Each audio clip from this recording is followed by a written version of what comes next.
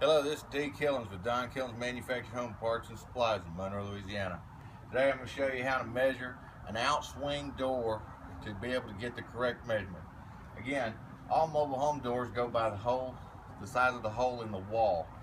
Best thing to do to measure this is open the door and measure inside this metal frame the width, which this comes to 33 inches. The height here going to come to 75 inches. So that lets us know that it's going to be a 34 by 76. Because when you pull this whole frame and all out, that'd be the size of the hole in the wall. Uh, again, you want to let us know whether or not it has a flange on the outside or if you can see the screws all the way around the perimeter of the door. Uh, like I say, that's pretty much it. Again, this is Dee Killins, Don Killins Manufactured Home Parts and Supplies.